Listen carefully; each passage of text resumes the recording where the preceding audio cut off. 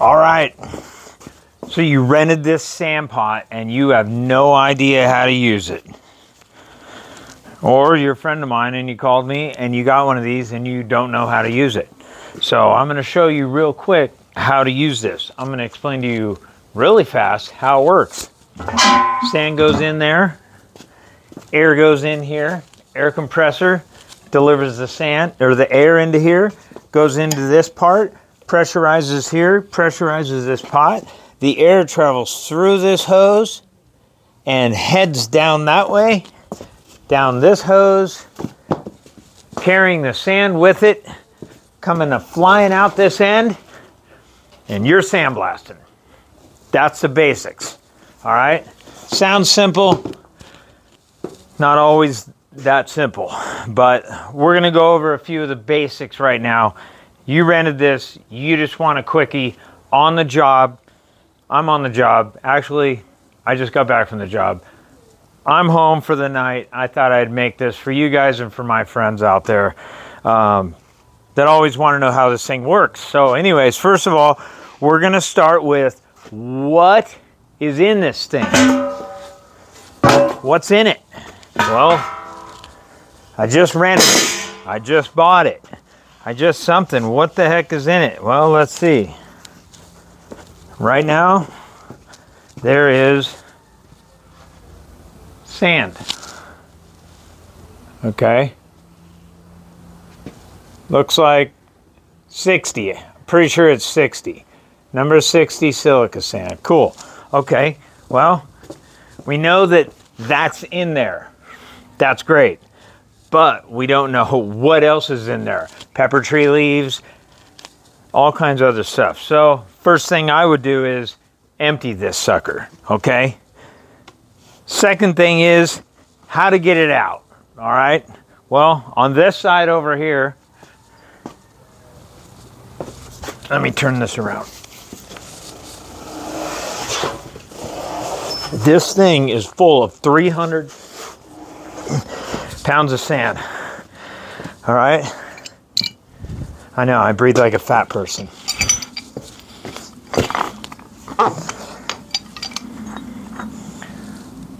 That wasn't nice.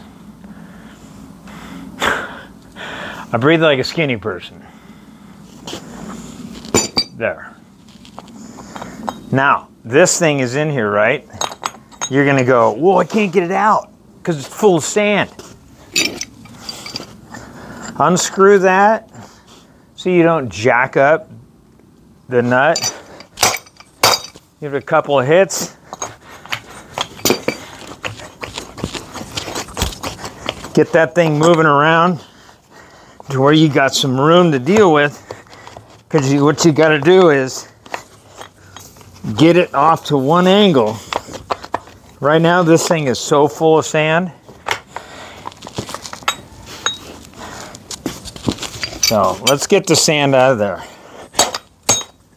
There we go. Now we got her moving. All right. So there you have it.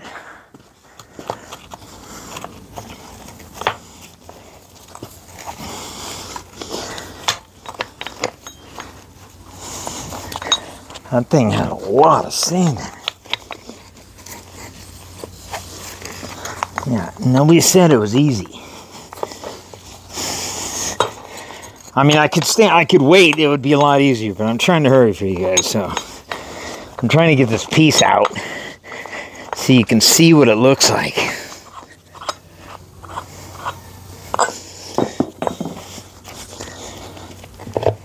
There we go. See, as it starts to get more empty, much easier to deal with. Okay. Got to go in like right exactly perfect. Crazy. There it is. All right. Gasket, just piece of rubber. If you lose it, go get a mud flap, cut a new one.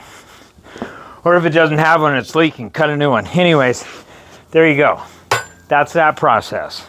The nut's under there. You'll find it. Bring a magnet with you. Air hookup. Air hookup's over there. This thing's much easier to manhandle now that I got all that doggone sand out of there. Here's your air hookup right here, okay? So you got your air coming in off your air compressor. It's gonna go in right here. This is gonna pressurize this, okay? This is run by a dead man, which is this unit. These plug together. Okay, this is your on off safety switch. You can tell how much I use it because I work for myself. If I was around OSHA, you bet your butt you better have one of these. You'll be in trouble. Anyways, that's your on off. That energizes this, plugs this, pushes the cork up, pressurizes this, and starts shooting sand. Anyways, get your air compressor, you hook your air up here. Now, you got the sand out. You got your air hooked up. Now we got to get new sand in. Where do we get it? Home Depot. You can get dry sand. It's got to be dry like this. Okay? If you put any amount of moisture to that, okay, see that? That's a huge deal because watch. See how this is going? This is all going through the sand pot real great, right? That's your sand pot valve. And then it just stops and you're like, what the heck? Well, this is what the inside of your sand pot looks like on the bottom. Okay? Right in that little cone on the bottom right there. Because it's got moisture, water. Do not want that. That is really, really bad. So you want to get dry sand. Home Depot, Lowe's, building material stores have it. Pretty, you know, tell them you're doing sandblasting. Some states like Texas, they got some black, black magic. I don't know what it is, but they got cool stuff. Anyways, it has to be dried. It has to be able to flow to a cone. If you drill a hole and it all flows through there, you could probably sandblast with it. Anyways, got the air hooked up. You went down to Lowe's, Home Depot, whatever you got. Bought your material, Larry's. That's my boy over here. Larry's uh, material in uh, Corona. Larry's. That's where I get my stuff. Been going there for 20 years, man. Anyways, put your sand in. Don't fill it all the way up, for God's sakes. Turn this thing on. Put a little bit in there. Turn this thing on and get it going. Get some air flowing through here. Make sure everything is clear. And start turning up your valve till you start getting some sand coming through. Once you got that going and you got it running pretty clean, um, you got to adjust your sand. Sorry, it's my notes over there. You want to adjust your sand. That this is your adjustment down here. You might have a, adjustment like this. Is a red knob. Probably can't even hardly see it. See if I can turn. There you go. Anyways, it's just like a dial. So open it up, more sand comes out. Close it up. This is a really old school valve. This one here. Um, this thing. Basically, here's the deal. On, off. Boom. Made by Kelco. Here's the inside. Anyways, that's on. That's on. That's wide open. That's closed. So, there you go. Anyways, that's an old one. So you adjust your sand. You want more air than sand, okay? It's like shooting a gun. You want a lot of gunpowder, little tiny bullets They're gonna go really far and really fast. That's what you want. You want a lot of air and you wanna get this thing flowing, running really smooth so this sounds really clean and just real even on the sound, okay? You don't want no like that choppy noise. That's called chugging. It's chugging. So this, what's happening is the sand inside there is bumping each other. And it's slowing down. It's coming out of the end. It's going, eh, eh, eh, and you're wasting stuff. So you want it coming out of there as fast and as smooth, as clean, as efficient as possible. You're going to just waste a ton of sand. If you have like this much to do, who cares? Crank this thing up, turn that thing on and get it done. Sweep up that 40 or 50 dollars in sand you just wasted and move on with your life. But if you're trying to get a job done and save some money, do it efficiently, you're gonna have to spend a little time, adjust your sand, adjust your air. This here is a choke, okay? This will shut off the air to the bottom of the sand pot. So when you put your air compressor to this, this is getting energized.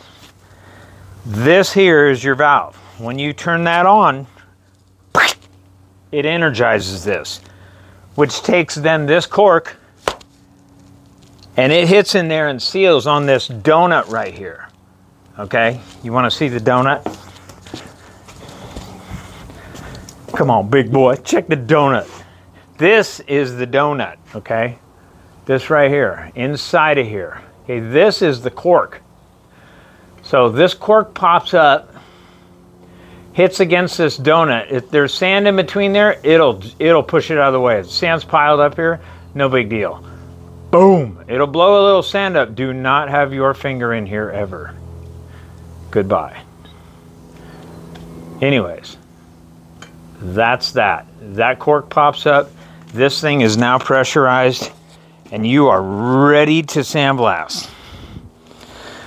Okay, make sure I got you guys back in focus here. There we are. All right, we're about 10, 10 minutes in, so let's wrap this up because you guys are on the job and it's hot out. And it was hot today, man. So in the heat, this thing's gonna run wonderful. Your, your compressor ain't because it's gonna be pumping air through here like gangbusters. So your compressor is going to be dying over there. You might get a hose on it. But this thing, it runs great in the heat because there's no moisture issues. In the rain and when it's cloudy out and you compress air, you have moisture issues, and that sucks. So that's why I used to live in Oregon, but if I lived in Oregon now, I could not do sandblasting for most of the year because I know how that place is uh, Eugene, Oregon. Anyways, but uh, adjusting the sand. Now holding this hose. Now, okay, so everybody's got their different ideas. Some of these guys, I, dude, this is a bad idea. I don't care if OSHA, if your boss, if anybody told you to hold this hose like this. Take it from a guy who has been holding hoses since sandblast hoses since 1994. Okay? You do not want this hose to blow when you're holding on it like this. If I'm holding this hose and this thing blows up right here, I have no control over what's going to happen, just in my opinion. So I like to hold this hose right here, okay? I personally like to hold it here because I can hold this thing between my legs and stop it. And I could fight this thing off if I wanted to. But I don't want this to be this close to my face ever. So if you're holding this hose, do yourself a favor. Don't blast yourself. That's what your boss is going to tell you. Second of all, don't get this frickin' thing near your face at all. Keep enough hose in front of you that if something was to happen, all you got to deal with is a blown rubber hose. You don't want to deal with nozzles and deadmans and switches. This thing goes here. I mean, hold this thing out there. Get control of it. You are the guy holding this hose. You could kill somebody with this. So be careful. That's the number one thing. We can always buy more sand. We can always fix the equipment. We can always dial things in. But the number one thing I want to stress is be careful because you can jack yourself up. This is no toy, okay? So, anyways, there's my few little quick pointers on how to get this going Um, a couple things I can think of if you did start this and there's and you're just blowing air and you have no sand, shut this off completely. That's going to stop your air going to the bottom. It's going to just push that sand.